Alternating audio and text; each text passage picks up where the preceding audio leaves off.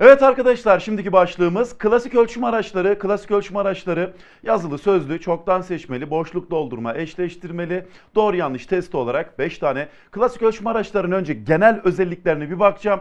Daha sonra e, bir tablo oluşturacağım arkadaşlar. Kullanışlılık açısından, ölçtüğü bilgi düzeyi açısından, ondan sonra soru sayısı, e, geçerliliği, güvenirliği açısından değerlendiren bir tabloyla özetlemeye çalışacağım arkadaşlar. Klasik ölçme araçları neden klasik ölçme araçları diyoruz?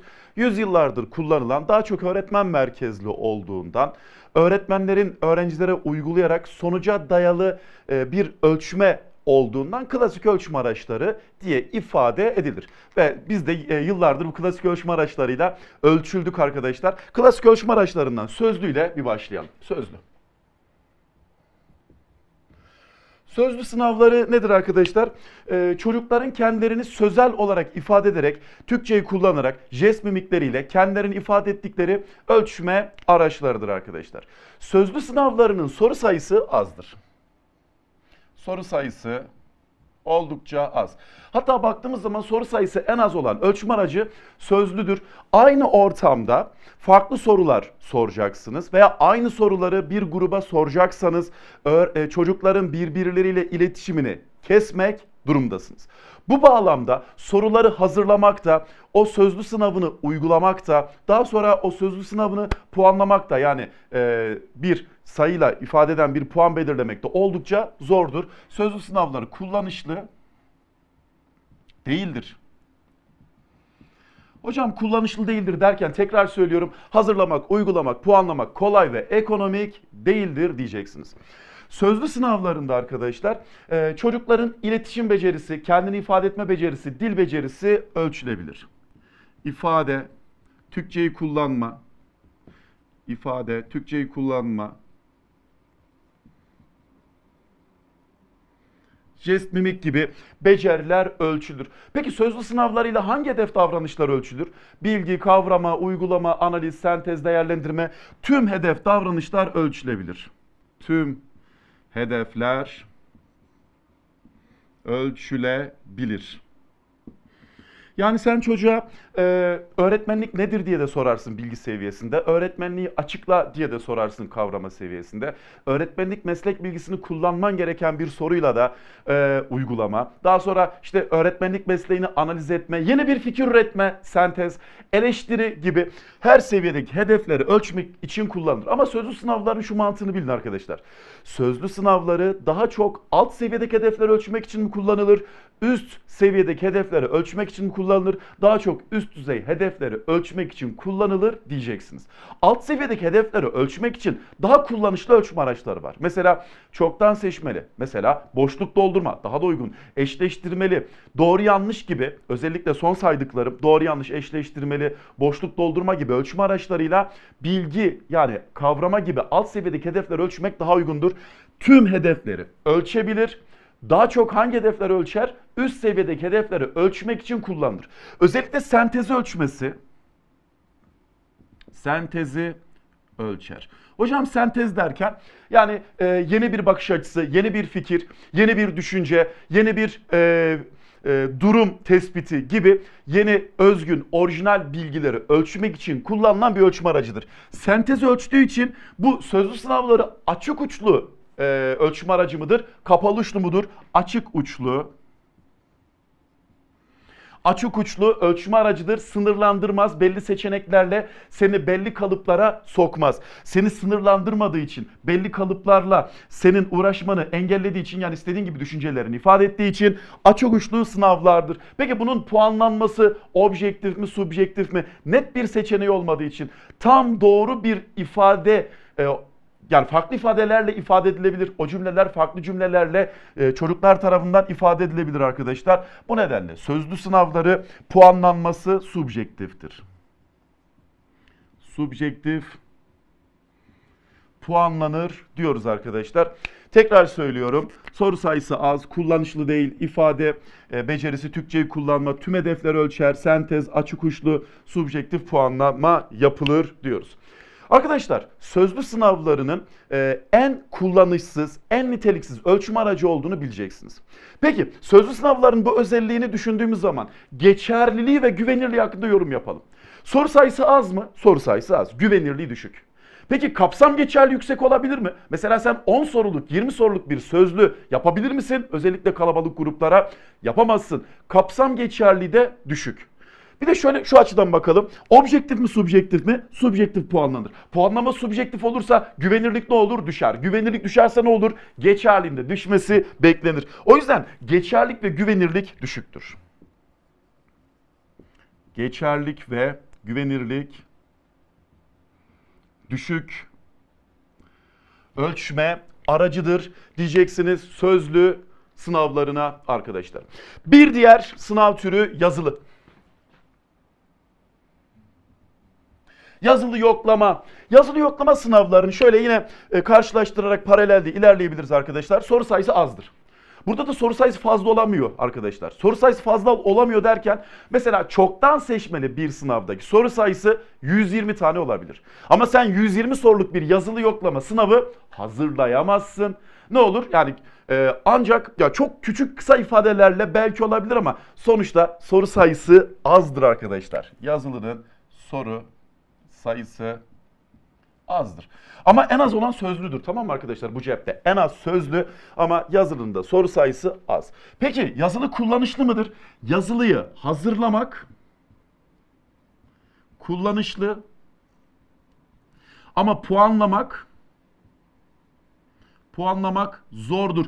Puanlama kullanışlı değildir. Hocam puanlama derken yani çocukların kağıtlarını alacağız, ismini kapatacağız, soru soru puanlayacağız, bir puanlama anahtarı oluşturacağız şeklinde öğrencilerin kağıtlarını puanlamak oldukça zordur. Peki yazı yazma becerisi, e, yazı düzeni gibi becerileri ölçer mi? Evet arkadaşlar. Yazı becerisi. Yine Türkçeyi kullanma becerisi. Türkçeyi kullanma becerisini de ölçer diyebiliriz arkadaşlar. Peki yazılının şöyle bir özelliği var. Ee, siz de içinizden düşünebilirsiniz. Yazılı yoklamada az soru, uzun cevaplı sorular mı tercih edilmeli? Çok sayıda kısa cevaplı sorular mı tercih edilmeli düşünelim. Yani yazılıda soru sayısı az mı olmalı, çok mu olmalı? Hangisi tercih etmek gerekiyor? Az sorularla uzun cevaplı bir sorum hazırlamak gerekiyor. Çok sorularla kısa cevaplı sorumu daha uygun diyoruz arkadaşlar. Bunun cevabı çok sayıda kısa cevaplı soru hazırlamak gerekiyor. Çok sayıda kısa cevaplı sorular tercih edilir. Bunun sebebi nedir arkadaşlar? Peki soru sayısı çok olursa, soru sayısı çok olursa güvenirlik çok olur mu? Güvenirlik artar. Duyarlılık anlamda güvenirlik artar. Ee, peki kısa cevaplı olursa, sorular kısa bir şekilde cevaplanırsa puanlama daha objektife yaklaşır mı? Daha kısa ifadeler daha objektif bir şekilde puanlanır mı? Evet. Yani soru sayısının fazla olması güvenirliği arttırır. Kısa cevaplı olması puanlamanın daha objektif olmasını sağlar. Bu nedenle yazılıda tercih etmeniz durum budur arkadaşlar. Peki yazılı sınavları açık uçlu mudur, kapalı uçlu mudur? Yazılı açık uçlu sınavlardır. Açık uçlu sınavlardır derken belli bir kalıbı yok. Belli seçenekleri yok. Doğru yanlış gibi, çoktan seçmeli gibi belli seçenekleri yoktur. Seni belli kalıba e, sıkıştırmaz. Açık uçludur. Hangi hedefleri ölçer? Tüm hedefleri ölçer. Tüm hedefleri ölçer. Yani bilgi, kavrama, uygulama, analiz, sentez, değerlendirme yani ne diyelim maddenin tanımı nedir dersin bilgi, maddeyi açıklar dersin kavrama, maddeyle ilgili bir soru sorarsın çözebiliyorsa uygulama, maddeyi çözümler analiz, yeni bir fikir ortaya atar yazar bunu sentez, maddeyle ilgili bir eleştirel bir yazı yazar değerlendirme her hedefi ölçer. Ama daha çok alt seviyedeki hedefleri ölçmek için kullanılır, üst düzey hedefleri ölçmek için kullanılır. Aynı mantıkta düşün ne diyeceksin? Daha çok üst düzey hedefleri ölçmek için kullanılır ve sentezi ölçen önemli ölçüm aracıdır. Sentez bu ölçme aracı tarafından e, ölçülebilir. Nadir ölçme araçları. Zaten sentezi ölçtükleri için açık uçludur diyeceğiz. Puanlama objektif olur mu? puanlamanın objektif olması için ne yaparsın? Ayrıntılı bir cevap anahtarı oluşturursun. Ama ne kadar da ayrıntılı bir cevap anahtarı oluşturursan da doğru yanlış gibi ölçme araçlarındaki gibi net bir cevabı olmayabilir. O yüzden subjektiftir. Subjektif ölçme aracıdır diyeceksiniz arkadaşlar. Yazılı yoklamayı puanlarken nelerden yararlanacağız? Yazılı yoklama puanlanırken neler yapılır diye bir küçük bir e, alt başlık gibi düşünebilirsiniz arkadaşlar. Yazılı yoklamanın puanlaması nasıl yapılır? Bakın şöyle puanlayabilirsiniz. Genel izlenime puanlama yapılabilir. Genel izlenim. Hocam genel izlenim derken e, buradan soru gelmedi bu arada. E, yani genel olarak bilmeniz yeterli. Genel izlenim nedir? Çocuğun kağıdını alırsın bir roman okuyor, bir hikaye okuyor, bir makale okuyor gibi soru soru değil de baştan sona okursun. Baştan sona okuduktan sonra genel bir puanlama yaparsın. En kötü puanlama yöntemlerinden bir tanesidir. Gruplandırma. Gruplandırma. Gruplandırma nedir arkadaşlar? Bunu da şöyle yapacağız. Çocukların kağıtlarını alacaksın genel izlenimle bir e, puanlama yaptıktan sonra şunu yapabilirsiniz. İyi kağıtlar, orta düzey kağıtlar, kötü kağıtlar şeklinde detaylı puanlama yapmadan önce genel izleme göre gruplar oluşturabilirsiniz. Bunu daha önce de anlatmıştım. Gruplar oluşturursanız daha objektif puanlama yapabilirsiniz arkadaşlar. Gruplamadan sonra sıralama. Sıralama nedir? Sıralamada çok kötü bir puanlama yöntemlerinden bir tanesi. Çocuğun kağıdını alıyorsun diyorsun ki bu iyi kağıt. İkinci e, çocuğun kağıdını alıyorsun okuyorsun diyorsun ki bu bundan daha iyi. Bunu birinci kağıt olarak alıyoruz. Üçüncü çocuğun kağıdını okuyorsun diyorsun ki bu birinciden iyi ikinciden kötü ortaya koyayım. Daha sonraki çocuğun kağıdını alıyorsun ve en kötü kağıt şeklinde arkadaşlar öğrenci sayısı az olduğunda öğrencilerin başarılarını sıraya koyma veya yazılı yoklamadaki performansını, ifadelerini okuyarak sıraya koyarak bir puanlama yapıyorsunuz arkadaşlar. Sıralama yaptıktan sonra şey yapabilirsin. Birinci kağıt 100, ikinci kağıt 90, ikinci, üçüncü kağıt 80, işte 70, 60 diye puanlama yapabiliriz. Bir, çok kaliteli yollar değildir bunlar. Özellikle sıralama yapmak zordur. Öğrenci sayısı az olmalıdır. En iyi puanlama yöntemi ne olmalı? Yazılı yoklamada sen puanlama yapacaksan bunun en iyi yolu, en iyi yöntemi ne olmalı diye sorulduğu zaman ne diyeceksiniz? Ayrıntılı bir cevap anahtarı oluşturma. Cevap anahtarı oluşturma diyoruz arkadaşlar. Bu şekilde de puanlayabiliriz. En kaliteli, en öncelikli yol ne yapılmalı? Ayrıntılı bir puanlama anahtarı oluşturulmalı. Yazılı ve sözlü içinde son olarak şunu söyleyeceğim arkadaşlarım. Genel olarak ifade etmeye çalıştım. Arkadaşlar yazılılarda ve sözlülerde e, seçenek olmadığı için seçenek yoktur. Zaten açık uçlu dedik. Burada da seçenek yok. Açık uçlu. Şans başarısı var mı arkadaşlar? Şans başarısı atıp da tutturabilme ihtimalidir. Yani çocuğa seçenekler sunacaksın. Seçenekler içerisinden bir tanesini sallayacak, tutacak veya tutmayacak. Peki yazılıda veya sözlüde seçenek var mı? Seçenek olmadığı için şans başarısı yoktur diye düşünmek durumdasınız. Şans yok. Şansa yer yok. Şuraya yazabiliriz. Şans başarısı yoktur. Bazı arkadaşlar şey diyor. Ya hocam yazılıda çocuk kafasına göre bir şeyler yazar. Ya orada bilgi yoksa yoktur. Orada yani kendi şansını zorlaması, çocuğun saçmalaması bazen saçmalarlar veya çocuğun konuyla ilgili bilmediği şeyleri oraya doldurması bunun şans başarısı olduğu anlamına gelmez. Tekrar söylüyorum şans başarısı seçeneğe bağlıdır. Seçenek varsa şans başarısı vardır. Seçenek yoksa şans başarısı yoktur diyeceksiniz arkadaşlar. Evet bir diğer ölçme aracına geçelim. Çoktan seçmeli ölçme aracına bakalım. Bizim için en önemli ölçme araçlarından bir tanesi e, ÖSYM'nin de en sık kullandığı ölçüm aracı. Bir ara ÖSYM şey dedi e, artık yazılı yoklamaya dayalı da bir çalışma yapacağız. Çok eskiden söylemişti artık kısa cevaplı soruları da soracağız. Kısa cevaplı soruların cevabını işte optik forma kodlayacaksın falan filan. Allah'tan vazgeçti. Öyle bir uygulama yapmaya çalışmıştı. Çoktan seçmeli. Biliyoruz zaten. Gelin detaylarına bakalım. Çoktan seçmeli ölçme aracı arkadaşlar. Evet, çoktan seçmeli ölçme aracında bilmemiz gereken en önemli bilgilerden bir tanesi arkadaşlar. Nereden başlayalım? Hedef düzeyi. Çoktan seçmeli de hangi hedefler ölçülür? Bilgiyi ölçer. Hani hangisi eğitimin en doğru tanımıdır dersin. Kavramayı ölçer. Yani yorum yapma, e, anlama becerisini ölçer. Uygulama, uygulama becerisini ölçen en önemli araçlardan bir tanesidir. Hocam uygulama derken hareket mi? Hayır ya. Bilgiyi kullanma. O matematik sorular var ya uygulama seviyesindedir. O Türkçe soruları var ya uygulama seviyesindedir. Bilgini kullanarak Türkçe sorusunu çözüyorsun. İstatistik bilgini kullanarak benim o ölçme sorularını çözüyorsun. İşte o uygulamadır. Uygulama bilişsel uygulama diyeceğiz. Analiz ölçer mi? Çözümleme yapma, nedenlerini ayırma, sonuçlarını ayırma olabilir arkadaşlar. Bir tane öncül verirsin. Verdikten sonra hangisi bu durumun nedenlerinden biridir değildir bak analiz yapman gerekiyor. Hangisi bu durumun nedenlerinden biridir değildir. Analiz ölçüyor. Sentez. Sentez yeni olandır.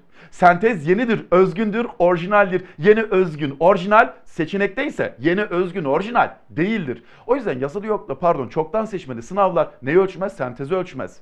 Sentez seviyesindeki hedefleri ölçmez. Değerlendirme olabilir mi? Olabiliyor arkadaşlar. Yani sen belli ölçütler verirsin. Bir tane kavram haritası sorusu vardı. Engin diye bir öğrenci kavram haritası çizmiş. Kavram haritası kurallarına, ölçütlerine göre Engin'in yaptığı hatalar nelerdir? Değerlendiriyorsun. Çocuğun yapmış olduğu kavram haritasını değerlendiriyorsun. O yüzden değerlendirmeyi de ölçer. Ne diyeceğiz biliyor musunuz arkadaşlar? Ee, sentez hariç tüm hedefleri ölçer. Sentez seviyesindeki dışında bütün hedefleri ölçmek için kullanırsınız diyoruz. Daha çok alt seviyedeki hedefleri ölçmek için kullanılır. Üst seviyedeki hedefleri ölçmek için kullanılır.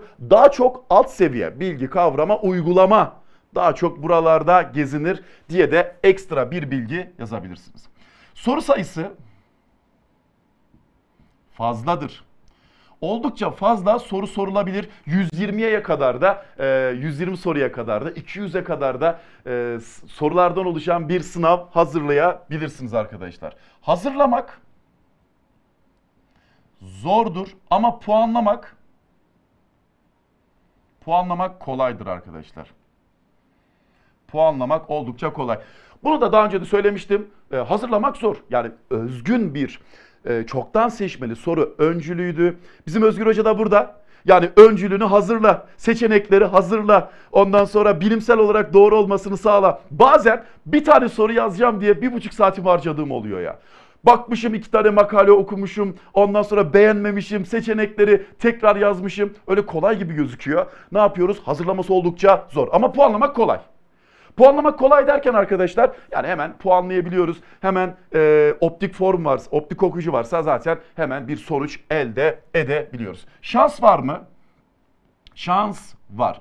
Şans başarısı var yani 4 seçenekli ise tutturabilme ihtimalin bilmiyorsan 4'te 1. 5 seçenekli ise bilmiyorsan tutturabilme ihtimalin 5'te 1'dir diyoruz arkadaşlar. Şans başarısı var. Şans başarısını bir nebze azaltmak için ne uygulanmalı? Düzeltme formülü uygulanmalı. Düzeltme formülü uygulanmalı. Neydi düzeltme formülü bunu da bir önceki derslerde anlatmıştık. 5 seçenekli bir testte 4 yanlış bir doğruyu götürüyorsa 4 seçenekli bir testte 3 yanlış bir doğruyu götürüyorsa, 3 seçenekli bir testte 2 yanlış bir doğruyu götürüyorsa, 2 seçenekli bir testte o da doğru yanlış testi oluyor. Bir yanlış bir doğruyu götürüyor şeklinde ortaya çıkıyor. Düzeltme formülü ne işimize yarar? Eğer düzeltme formülü kullanırsak ne artıyordu? Hatırlayın güvenirlik artıyordu. Çocuk soruyu sallamıyordu. Sallasa bile yanlışlar doğruyu götürüyordu. Elinde bir şey kalmıyordu. Güvenirlik artar. Dolayısıyla geçerli de arttırır diye düşünebilirsiniz arkadaşlar. Evet, kapalı uçlu bir sınavdır. Bir sınavdır. Geçerlik ve güvenirlik hakkında yorum yapacak olursak soru sayısı fazla. Tamam mı arkadaşım? Puanlaması objektif. Soru sayısı fazla olduğu için kapsam geçerliliği de fazla olabiliyor. O yüzden çoktan seçmeli testler güvenirliği ve geçerliği en fazla olan klasik ölçme aracıdır diyeceksiniz arkadaşlar. Tekrar söylüyorum soru sayısı fazla olduğu için Duyarlılık anlamda güvenirlik artar. Objektif olduğu için e, objektiflik anlamda güvenirlik artar. Soru sayısı fazla olduğu için farklı kapsamlardan farklı hedef davranışları ölçen sorular yazabilirsin. Bu nedenle güvenirliği ve geçerliği en fazla olan ölçme aracıdır diyoruz arkadaşlar. Çoktan seçmeli sınavların e, biliyorsunuz ki arkadaşlar öncül, soru kökü seçenekten oluşabiliyor. Bazen öncül de olmayabiliyor. Öncülümüz var. Öncül var. Seçenek var. Soru kökü var. Seçenek var arkadaşlar. Burada öncül, soru kökü ve seçenek açısından genel bir bakış açısıyla bakmaya çalışalım arkadaşlar. Öncülün ne olduğunu biliyorsunuz. Yani bizim bir sorunun e, kökü öncesindeki yere öncül, soru kökü A, B, C, D, E. Bunlara da ne diyoruz arkadaşlar? Seçenek. Seçenek diyoruz arkadaşlar. Seçeneklerden A doğru cevap olsun. Doğru cevap. Diğerlerine ne diyoruz? Çeldirici. Diğerlerine çeldirici diyoruz. Bunların analizini daha sonra da gerçekleştireceğiz. Öncül sorunun kökünün öndeki ön bilgi, ön açıklamalı yerdir. Sorunun kökü soruyu asıl sorduğumuz yerdir. Ee, buraya da seçenek diyoruz. Doğru cevap doğru cevaptır. Doğru cevabın dışındaki seçenekler bizim için çeldirici olarak karşımıza çıkıyor. Hadi bakalım bu genel özelliklerine bakacağız arkadaşlar. Şuradan devam edeceğiz. Evet şöyle bir durum var arkadaşlar. Soruyu nereden okumaya başlayacağız? ya Özgür Hocam buraya gelebilir misin? Müsaitsen.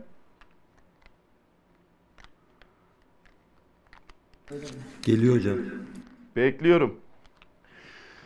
Şimdi bana da geliyorlar ya hocam sizi de davet aynen bir gelin hocam ya. Şimdi bana soru getiriyorlar. Merak çoktan seçmeli soru getiriyorlar. Ya hocam diyor öncülde bu yazıyor o yüzden sorunun cevabı işte şu seçenek bu seçenek olur mu diye adam kafasını karıştırıyor. Soruyu nereden okumaya başlamak gerekiyor hocam ya? Nereye okumak gerekiyor? Sorunun kökünü mü okuyacağız? Öncüle göre mi cevap vereceğiz? Kökünü okuyup öncülle bağlantısını kurarak. Evet. Yani genellikle ben sorunun kökünü okuduktan sonra direktmen sorun cevabını da bulabiliyorum. Mesela gelişimde hatırladığım kadarıyla şey diyor işte Elif'in davranışının zamanla sona ermesi neyle açıklanır? Ya buraya okumana gerek yok ki. Evet. Zaten Elif'in davranışının zamanla sona ermesi nedir? Sönme. Öyle miydi Evet, ya? evet. Hani yani potta kırın. öğrenmede, gelişmede. Aynen. O, o- en azından bir, bir yeri tutturduk. O yüzden biz nereye okumakla başlayacağız? Kökü okuyacağız. Öncülle bağlantısını kurup ama öncüle de bakmadan senin yaptığın gibi cevap vermemek. Hadi ya ben öyle çok soru çözüyorum ya. Çünkü burası yalan rüzgar. Burada Dallas. Evet, burada evet, evet. Ayşe işte Ali ile Ali'ye aşık olmuş, davranışı oluşmuş, sönmüş, kendinden geri gelmiş, sönme patlaması yaşanmış. Ama soru bana ne diyor? Biraz işte o senin de deneyiminden, tecrübenden kaynaklı olarak sen gidebiliyorsun ama hı. arkadaşlara bunu yapmamalarını öneriyorum. Tabii, tabii. Mutlaka öncüle de bakmakta Ama fayda var. ben şurada bizim Ama e, soru kökü bizim pusulamız. a- aynen biz soru kökünü burası. okuyarak başlayacağız. Tabii burası bizim pusulamız olacak. Tabii. Sizi yönlendirecek. Bir de az Bizim sonra da söyleyeceğim. Belirten şey olacak. KPSS'de de çok yayın yayın da var. Bazen biz de öyle hata yapıyoruz. Ya öncülü yazıyoruz, öncül gereksiz. Evet. Yani öncül hakikaten sorunun köküne ilişkin bazı e, bilgiler de taşımalı. Sorunun kökünü okuduktan sonra eğer öncüle gerek kalmıyorsa zaten öncül gereksizdir. Orada da sıkıntı Evet, yok. evet, evet. Seni de aniden Yani çağırdık ama ÖSYM de bu tür e, sorular soruyor. Gerçekten işte o biraz deneyimli oluyor. Deneyimli oluyor, değil mi? Soru kökü yazmış. Seçeneklere baktığında zaten olumsuz ifadeyi gördün mü gidiyorsun. gidiyor zaten değil mi? E, ama e, bu işte biraz deneyimle sabitlenmesi Yani orada e, orada e, biliyorsun benim bekliyorsam bir de arkadaşlar da seni görsün istedim. Çok teşekkür Ben ederim. teşekkür kardeşim. ediyorum. Kolay gelsin. iyi Katkılar için teşekkür ederim. Ben de Rica görüşürüz hocam. Evet, öncül soru kökü seçenek. Genel olarak baktık. Demek ki nereden başlayacağız? Sorunun kökünü okumakla başlayacağız. Şimdi devam edelim. Artık başlayalım. Bu öncül nedir? Soru kökü nedir? Seçenekler nedir? Özellikleri nelerdir? Bir bakalım arkadaşlar. Öncül sorunun kökündeki ön yapıya bizim için öncül diyoruz arkadaşlar. Öncül bir kere gerekli olmalı. Az önce Özgür Hoca'yla da muhabbet ettik ya. Gereksiz öncül nedir? Eğer sorunun kökünü okuduktan sonra öncülle bağlantısı yoksa, öncülün sorunun köküne bir katkısı yoksa, öncülü okumadan soruyu cevaplayabiliyorsak o öncül gereksizdir. Ben olumlusunu yazacağım. Öncül gerekli olmalı. Gerekli olmalı. Arkadaşlar öncül başka bir soruya ipucu niteliği taşımamalı. Öncülde ipucu olmamalı. Olmalı yazdım. İpucu olmamalı. Ne demek? Hemen anlatayım. Hocam ipucu olmamalı derken ne demek istiyorsunuz? Bak şunu demek istiyorum. Daha önce de anlattım. Beşinci soruyu çözüyorsun. Beşinci soruyu çözdükten sonra atıyorum 20. soruya geldim. Bağlantısız. Bağlantısı başka bir soru. Ulan diyorsun ki ya bu sorunun cevabını başka bir sorunun öncülünde görmüştüm diyorsun. Geriye doğru gidiyorsun böyle haşır huşur falan sayfaları çeviriyorsun. Bir bakıyorsun aa tamam burada yazıyordu. Daha sonra 20. soruya geçiyorsun ve soruyu çözüyorsun. İşte bu ipucu niteliği taşımamalı başka bağımsız başka bir soruyu çözdürmemeli diyoruz arkadaşlar. Gerekli olmalı, ipucu olmamalı. Arkadaşlar öncül ile ilgili en fazla iki soru. Üç soru kabul edilebilir. Öncül ile ilgili çok fazla soru sorulmamalı. Çok fazla soru sormamalı. Bunun sebebi de gereksiz tekrara düşüyorsun. Aynı şeyleri sorup sorup durmuş oluyorsun. Bir öncülle iki soru hani belki üç soru, iki soru kabul edilebilir düzeydedir arkadaşlar. Üç soru da tam sınırdır. Çok fazla soru sorduğun zaman tekrara düşüyorsun. Hep aynı şeyleri soruyorsun. Bu nedenle çok fazla soru sorulmamalı. Gelelim sorunun köküne. Soru kökü sorunun sorulduğu yer. Özgür Hoca'yı da böyle hızlıca aldığımız bölüm arkadaşlar. Soru kökünden okumaya başlayacağız. Arkadaşlar soru kökünde öncelikle olumlu ifadelerle soru soracağız. Sorunun kökü olumlu olmalı. Hocam sorunun kökü olumlu olmalı derken aşağıdakilerden hangisi? Ya şöyle güvenirliği etkileyen faktörleri mi sormam daha öncelikli olmalı? Güvenirliği etkilemeyen faktörleri mi sormam daha öncelikli olmalı? Güvenirliği etkileyen faktörleri sormam bizim için daha öncelikli olmalı diyeceksiniz. Güvenirliği etkilemeyen yani olumsuz ifadelerle soruları ikinci olarak tercih edilmeli. Olumlu olmalı, olumsuz olabilir. Olumsuz olabilir. Olumsuz ifadeli soruda yazıyorsan vurgulayacaksın arkadaşım. Altı çizili olacak, italik yazacaksın, kalın yazacaksın. Hangisi değildir, hangisi yanlıştır, hangisi etkileyen faktörlerden biri olamaz gibi.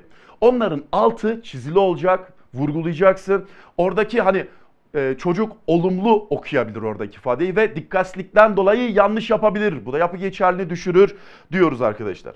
Sorunun kökü çift olumsuz olmamalı. Çift olumsuz olmamalı diyoruz. Hocam çift olumsuz olmamalı derken neyden bahsediyorsunuz ya? Gördüm yani bazı yayınlarda var şey diyor. Aşağıdakilerden hangisi güvenirliği etkilemeyen faktörlerden biri değildir? Zaten sınavda azıcık başımız kalıyor. Onu da o çift olumsuz ifadelerle aklımız başımızdan gidiyor arkadaşlar.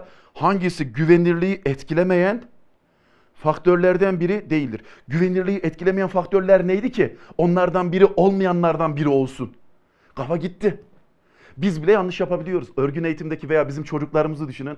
O soruları okurken iyice yanlış yapabilme ihtimali artıyor. Açıklık ilkesine aykırı bir kere. Zaten buradaki hangi ölçüm aracını düşünürsen düşün. Ölçüm araçlarının en önemli özelliği ne olmalı biliyor musunuz arkadaşlar? Ne olmalı? Açık, seçik, anlaşılır, Türkçe kurallarına uygun olmalı. E çocuk okuyunca anlamıyor ki hangisi güvenirliği etkilemeyen faktörlerden biri değildir diye sormak yerine hangisi güvenirliği etkileyen bir faktördür diye sormalısın. Hangisi güvenirliği etkileyen bir faktör diye sormalısın diyoruz arkadaşlar. Gelelim seçeneklere. Seçeneklerle soru kökü bağlantılı olmalı. Seçenekler, burası seçenek kısmı arkadaşlar. Şöyle yapalım. Seçenekler soruyla, soru ile, soru köküyle uyumlu olmalı diyoruz.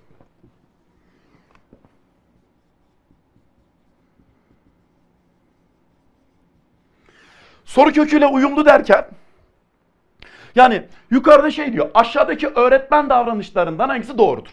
Soruyu böyle sorduk. A işte planda olmalı. B öğretmen işte kuralları en başta belirlemeli. C öğretmen farklı yöntem tekniklerden yararlanmalı. D seçeneği öğret öğrenci plana sadık kalmalı. Bir dakika ya. Sen aşağıdaki öğretmen davranışlarından hangisi diye sordun. E, diğer en son seçenekte öğrenci davranışı diyor ya. Hepsi öğretmen davranışı ile ilgili olmalıdır. Veya şöyle sorulmuş. Ya buradan Fatih Hoca'ya da selamlar. Sorunun kökünde şey diyor. Aşağıdaki program türlerinden hangisidir? A seçeneği örtük program, B seçeneği ihmal edilen program, D seçeneği geçersiz program şeklinde program, program, program demeye gerek yok. Zaten sonra soru sana şey demiş. Verilen ifadeler hangi program türüne aittir? O zaman sen seçenekleri ne diye okuman gerekiyor? Ne diye okuman gerekiyor? Program türü diye okuman gerekiyor. Oradaki e, ifadeler de gereksiz tekrar oluyor. Tekrar e, istiyorsanız yazayım. Hangi şöyle hangi program türüne aittir diye sordun. A örtük program. B resmi program. C işte ihmal edilen program. Zaten hangi program türüne aittir diye sormuşsun. Örtük program diye okuyacaksın. Resmi program diye okuyacaksın. İhmal edilen program diye okuyacaksın. Program, program, program diye bunu yazmayacaksın. O yüzden e, seçenekler gereksiz tekrara yer vermemeli. Gereksiz tekrar olmamalı diyoruz. Bir de seçenekler sıralı olmalı. Sıralı olmalı. Hocam sıralı olmalı derken eğer matematik sorusuysa küçükten büyüğe doğru. Daha mantıklı. Eğer bu bir Türkçe sorusuysa hani şehirleri sordun. A ile başlayanlar, B ile başlayanlar, C ile başlayanlar diye. Eğer bu bir öncüllü sorusuysa hani yalnız bir A'da, yalnız iki B'de, yalnız üç C'de. Daha sonra ikililer. 1 ve 2 D'de, 1 ve 3 E'de. İşte atıyorum 1, 2 ve 3 F'de şeklinde belli bir düzeni, belli bir sırası olmalı arkadaşlar. Neden sıralı olmalı biliyor musunuz? Mesela e, öncülde 5 tane ifade var hangisi doğrudur dedik. Tekrar söylüyorum. Öncülde 5 tane ifade var hangisi doğrudur diye sordum. Birinci ifadede doğru. Çocuk seçeneklere bakmadan sınavın heyecanıyla, dalgınlığıyla A'yı işaretleyebiliyor. Şimdi sen dikkatimi ölçüyorsun. Dersin ne olsun? Coğrafya dersi. Sen dikkatimi ölçüyorsun. Coğrafya bilgisi mi ölçüyorsun? Coğrafya bilgisi ölçerken dikkat ölçen bir test haline geliyor. Yapı geçerliliği ne oluyor? Düşüyor. Yansızlık gibi bir durum ortaya çıkıyor arkadaşlar. O yüzden seçenekler ne olmalı? Sıralı olmalı diyoruz arkadaşlar. Bir diğer se- e, seçenek analizi arkadaşlar. Seçenekler birbirine zıt ifadeler olmamalı. Seçeneklerdeki ifadeler birbirine zıt ifadeli olmamalı derken neyden bahsediyoruz arkadaşlar? Mesela A seçeneği verilen bu ifade güvenilirliği etkiler. B seçeneği verilen bu durum güvenilirliği etkilemez. Ya verilen bu durum ya güvenilirliği etkiler ya da etkilemez. Uyanık öğrenci için çoktan seçmeli sınav kaç seçenekli hale geliyor? İki seçenekli hale geliyor arkadaşlar. Bu nedenle zıt ifadeler olmamalı diyoruz arkadaşlar. Seçeneklerden e, böyle genel özelliklerinden, genel mantığından bahsettik. Bir de şunu da yazabilirsiniz. E, öğrenci yanlış yapsın diye çeldirici yazılmaz. Doğru cevap yazdın. Hadi bakalım öyle bir çeldirici yapacağım ki bilen öğrenciler de oraya gidecek şeklinde bilen öğrencileri yanıltmak amaçlı, bilen öğrencileri Tonga'ya tabiri caizse Tonga'ya düşürmek amaçlı seçenek yazamazsınız ve seçeneklerin hepsi bilimsel olacak arkadaşlar. Mesela Fatih Hoca soru yazmış. Şey diyor. Hangi aşağıdaki verilen bu bilgiler hangi teknikle alakalı? A. Beyin fırtınası. B. istasyon. C. Drama. D. e, işte ne diyelim? E, rol oynama. E seçeneği ejder kapanı. La ejder kapanı ne? Ya bilimsel olarak öyle bir teknik yoksa kendinden hadi bakalım böyle de bir teknik çocuklar görsün de merak etsin de kafaları karışsın şeklinde seçenek oluşturulmaz. Çeldirici oluşturulmaz. Çeldiricilerin hepsi bilimsel açıdan doğru olmalı diyoruz arkadaşlar. Evet bir diğer soru tipi doğru yanlış.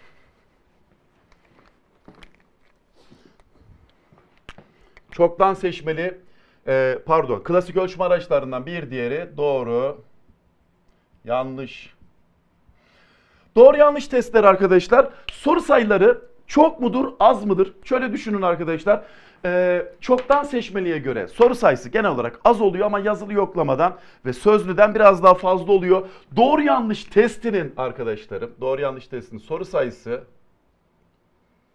orta düzeyde. düzeyde oluyor arkadaşlar. Doğru yanlış testlerini e, en önemli antikapından bir tanesinden, handikaplarından bir tanesinden bahsedeyim arkadaşlar. Doğru yanlış testleri iki seçeneklidir. İki seçenekli olduğu için şans başarısı en fazla olan bir ölçme aracıdır. Şans başarısı en fazla. Şans başarısı kaç? Yüzde 50. Bilmiyorsa çocuğun tutturabilme ihtimali kaç? Yüzde 50'dir diyeceksiniz arkadaşlar. Açık uçlu mu kapalı uçlu mu? Kapalı uçlu ölçme aracıdır. Kapalı uçlu ölçme aracıdır diyoruz. Peki alt seviyedeki hedefleri mi ölçer? Üst seviye mi? Alt seviye. Daha çok bilgi seviyesindeki hedefleri ölçer. Alt seviye. Biliyor musun, bilmiyor musun? Bunu ölçer. Aslında bütün ölçüm araçları için genel bir ifade kullanacağım. Bir doğru yanlış sorusuyla bir davranış mı ölçülmeli, birden fazla davranış mı ölçülmeli? Evet, her soruda bir davranış ölçülmeli. Tamam mı arkadaşlar? Eğer bir soruda birden fazla şeyi ölçersen, birden fazla bilgiyi ölçersen çocuk doğru mu diyecek, yanlış mı diyecek? Mesela soru sayısı güvenilirliği etkilerken geçerliği etkilemez. Şimdi iki tane durum var burada. Soru sayısı güvenilirliği etkilerken geçerli etkilemez dedin. İki durumu soruyorsun. İki durumu soran sorulardan uzak durman gerekiyor. Tekrar söylüyorum. Hepsi için geçerli ama doğru yanlış için daha da önemli. Her soru bir davranış ölçmeli. Bir davranışı ölçmeli. Arkadaşlar doğru yanlış soruları açık seçik net olmalı. Çocuğu muallakta bırakmamalı. Mesela bir tane soru sorayım. Kopya çekme güvenirliği düşürebilir. Hoba. Şimdi net ifadesi olmalı. Kopya çekmek güvenirliği düşürür veya düşürmez diye net ifadelerle sorman gerekiyor. Net ifadeler ile sorulur. Peki e, doğru yanlış testlerinde arkadaşlar düzeltme formülü uygulanabilir mi? Kaç seçenekli? İki seçenekli. Düzeltme formülü uygulanabilir mi? Evet. İki seçenekli olduğu için çok acımasızca bir düzeltme formülü uyguluyoruz. Bir yanlış bir doğruyu götürür dersek orada düzeltme formülü uygulamış oluyoruz. Bir doğru, bir yanlışı götürür şeklinde bunu da bilmek durumdasınız arkadaşlar. Genel olarak kullanışlı ölçme araçlarıdır. Hazırlamak, uygulamak, puanlamak oldukça kolay ve ekonomiktir. Kullanışlı ölçme araçlarıdır diye düşünmenizi istiyorum. Hadi bakalım şimdi e, eşleştirmeli testler.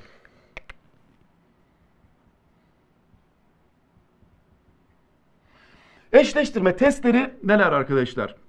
Eşleştirmeliyi biliyorsunuz. Bir tarafta öncül var. Öncül var. Bazı öncüller var. Diğer tarafta seçenekler var. A seçeneği, B seçeneği, C seçeneği, D seçeneği, E seçeneği şeklinde öncül ve seçeneklerden oluşan bir ölçme aracı arkadaşlar. Bu arada da hemen özelliğinden bahsedeyim. Önce öncül yazılıyor, daha sonra seçenekler oluşturuluyor diye bilmenizi istiyorum. Önce öncül yazılır. Sonra seçenekler oluşturulur diyeceksiniz eşleştirmeli testler için. Eşleştirmeli testler açık uçlu mudur, kapalı uçlu mudur? Kapalı uçludur. Kapalı uçlu ölçme araçlarıdır. Bu arada öncülün sayısıyla seçeneklerin sayısı eş mi tutulmalı, farklı mı tutulmalı? Arkadaşlar öncülle seçeneklerin sayısı aynı olursa çocuk iki tanesini bilirse e, bunun cevabını biliyor. İşte bunun cevabını biliyor. E, ister istemez bunu bilmese bile bu sorunun cevabını yapabiliyor arkadaşlar. Bu nedenle öncül ve seçeneklerin sayısı aynı olma, aynı olmamalı. 3'e 5, 5'e yadı kuralı var. 3 tane öncül varsa 5 tane seçenek var. Seçenek yap. 5 tane öncül varsa 7 tane seçenek yaz diyoruz. Neden? Şans başarısını bir nebze olsun azaltmak için diyoruz. Şurayı sileceğim. Seçenek ve öncül sayısı aynı olmamalı. Aynı olmamalı. 3'e 5, 5'e 7. Neden? Bu durum şans başarısını azaltır. Bu durum şans başarısını azaltsa bile şans başarısı var mıdır? Diyelim ki 3 tane öncül, 5 tane seçenek koydun. 3 tane öncül, 5 tane seçenek koydun. Bu durumda yine şans başarısı vardır arkadaşlar. Şans yine var. Açık uçlu mu kapalı uçlu mu? A bunu yazdık. Kapalı uçlu ama hedeflerini de yazayım. Daha çok bilgi. Yani biliyor musun bilmiyor musun?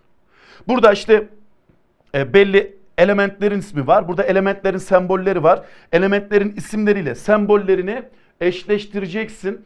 E, bizim için ne oluyor arkadaşlar? Şans başarısı mevcuttur. E, bilgi seviyesindeki hedefler ölçer. Bilip bilmediğini ölçer. Bunu yazacağız. Bilgi seviyesinde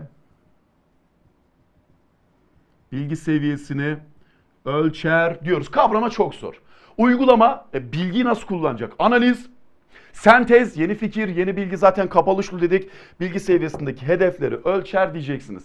Bir de eşleştirmenin nasıl yapılacağına dayalı aslında buraya başta yasadık hiç önemli değil.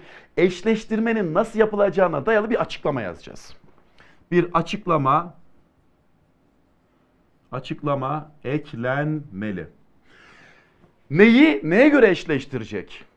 Elementleri sembo- doğru sembollerine göre eşleştirin demen lazım. Veya e, ülkelerin doğru başkentleriyle eşleştirin şeklinde bir açıklama yazmak zorundasın eşleştirmeli testlerde arkadaşlar. Evet zaten genel olarak yine yazmayacağım. Açık, seçik, anlaşılır olacak. Bu arada şunu unutmuyoruz arkadaşlar. Eşleştirmeli testler homojen yapıda olacak. Tek bir özelliği ölçer yapıda olacak. Mesela element ve sembollerin eşleştirme görevi verdin. Bileşik, bileşiğin formülünü eşleştirme olmayacak. Ülke şehir eşleştirmesi var. Sen aynı soruda başka bir şeyin eşleştirilmesini yapamazsın. Soru tek bir davranışa yönelik homojen yazılacak. Tek bir özelliği ölçer yapıda olacak. Soru homojen yapıda olmalı. Yapıda olmalı. Mesela ülke tekrar söylüyorum. Ülke başkent eşleştirmesi. Element sembol eşleştirmesi. Bunu diğer e, her ikisini aynı anda kullanamazsın.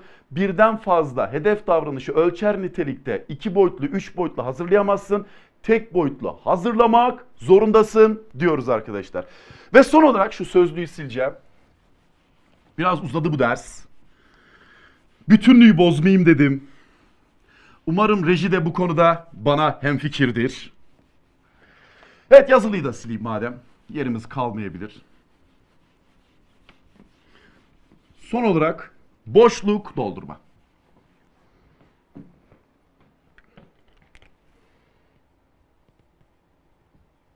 Boşluk doldurma.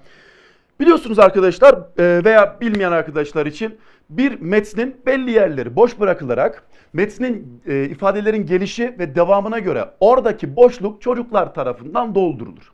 Biz buna boşluk doldurma soruları diyoruz. Arkadaşlar boşluk doldurma yine hedeflerden bahsedeceğim. Bilgi ve biraz da olsa kavrama kavrama seviyesindeki hedefleri ölçer. Yani e, biliyor musun bilmiyor musun? Anladın mı anlamadın mı? Uygulama çok zor. Zaten analiz sentez değerlendirme e, çok çok zor imkansızdır arkadaşlar. E, o yüzden alt seviyedeki hedefleri ölçmek için kullanılır. Nispetten nispetten objektiftir. Yani oradaki boşluk bir iki cümleyle bir iki kelimeyle de ifade edilebiliyor arkadaşlar. Çok uzun olmamak kaydıyla nispetten objektif puanlanabiliyor arkadaşlar. Boşluk doldurmada şans başarısı oldukça azdır. Şans başarısı yoktur demek yanlış. Mesela Türkiye'nin başkenti nokta nokta şehridir diye sordun. Hocam nerede şans başarısı? E 81'de bir tutturabilme ihtimali var. Çocuk oraya bir şeyler, bir e, başkent pardon bir şehir yazabilir, bir şehir ismi sallayabilir. 81'de bir de olsa vardır. Mesela eğitime ilişkin en temel kavram nokta nokta kavramıdır diye sordun. Kavramıdır kavramıdır olmaz da işte e, eğitim ilişkin en önemli nokta nokta kavramıdır diye sordun. Oraya eğitim yazmasını istiyorsun. E, ne oluyor arkadaşlar? Şans başarısı hani eğitim, öğretim, öğrenme, ne bileyim e, kendini gerçekleştirme gibi herhangi bir kelimeyi sallayabilir. Şans başarısı çok çok azdır. Soru sayısı fazla olabiliyor. Soru sayısı fazla olabilir. Genel olarak kullanışlıdır. Genel olarak kullanışlı sınavlardır diyoruz arkadaşlar. Boşluk doldurmada boşluklar başta ve sonda olmaz. Yani sen boşluk doldurma sorusu yazıyorsun. Şöyle kaba bir taslak çizeyim. Boşluk doldurma sorusu yazdın. Boşluklar başta ve sonda olmamalı. Çünkü genel olarak boşlukları e, işte kelimenin gelişiyle ve devamıyla doldurmasını istiyoruz. Başta ve sonda olursa anlamsız olabiliyor. Boşluklar aralarda olmalı diyorsunuz arkadaşlar. En fazla iki boşluk kullanılmalı. Yani o kadar çok boşluk var ki nereye yöneltirsen gider olmaz. Eğer çok fazla delikli peynir gibi ne olduğu belli değil. Nereye yönleneceği belli değil. Çocuk bir anlam bütünlüğü kazanamayabilir.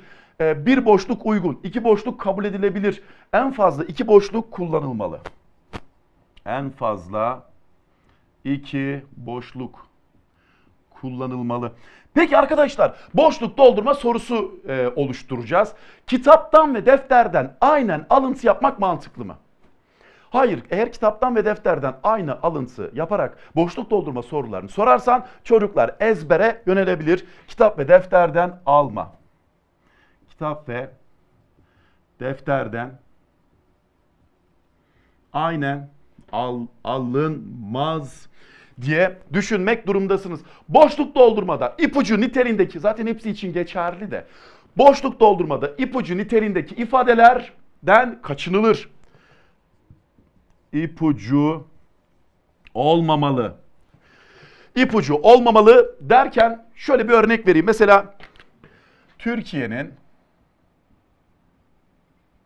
başkenti nokta nokta nokta şehridir. Değil de düzgününü yazdım. Doğrusunu yazdım nokta noktadır diye sordum. Arkadaşlar buradaki dır ipucu içeriyor mu?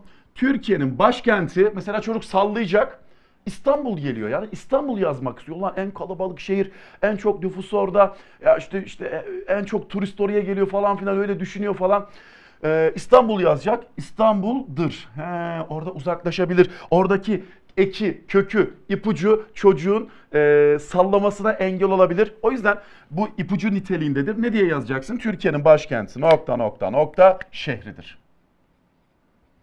Şehridir diye sormak zorundasın. Bu şekilde düzenleyerek soruyu oluşturmak zorundasın arkadaşım. Bir de bu boşlukların uzunlukları aynı olacak. Yani sen suyu soruyorsan da hani bir 2-3 tane boşluk doldurmalı sorusu var. Sen suyu soruyorsan da aynı santimde, Ankara'yı soruyorsan da aynı santimde o boşlukları dizayn etmelisin. Mesela suyu soruyorsan 2 nokta, Ankara'yı soruyorsan 5 nokta koyarsan zaten bu ipucu, ipucu niteliği de taşır. Oradaki boşluk uzunlukları eş olmalı. Boşluk uzunlukları boşluk uzunlukları aynı olmalı. Söylemiş olabilirim ama bir daha söyleyeceğim arkadaşım. Arkadaşlar sonuçta bu boşluk doldurma içinde şunu bileceksiniz. Açık, seçik, anlaşılır Türkçe kurallarına da uygun olacak. Hocam bu hangi klasik ölçme aracı veya hangi ölçme aracı için geçerlidir?